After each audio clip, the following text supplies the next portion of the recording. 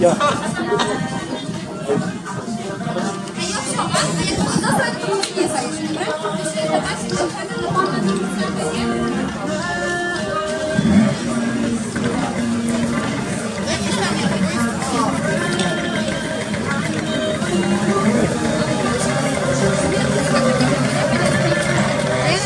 I obserwujemy start Bodzanowic na torze A.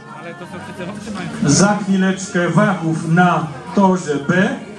A po starcie Bodzanowic na tor A wolno może się przygotowywać drużyna z Wachowic.